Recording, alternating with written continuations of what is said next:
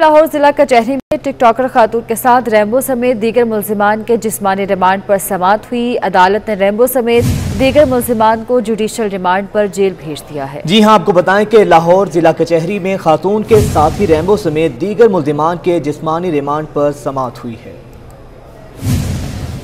लाहौर जिला कचहरी में टिकटॉकर खातून के साथ रैम्बो समेत दीगर मुलजिमान के जिसमानी रिमांड पर समात हुई। अदालत ने रैम्बो समेत दीगर मुलजमान को जुडिशल रिमांड पर जेल भेज दिया है। जी हाँ, आपको बताएँ कि लाहौर जिला कचहरी में खातून के साथ ही रैम्बो समेत दीगर मुलजिमान के जिसमानी रिमांड पर समात हुई है।